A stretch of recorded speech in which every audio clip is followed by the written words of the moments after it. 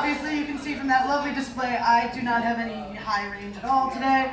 So Bryan Dunn was good enough to fill in for my part. And that's perfect. Yay, Bryan Dunn. so we're gonna do a song from Hedwig and the Angry Inch. we love this musical. It's gonna be awesome. Thank you again,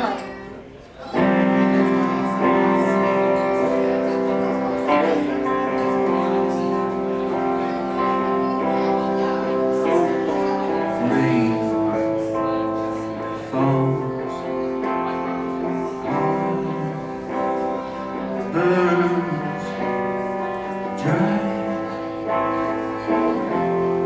A dream or a song that hits you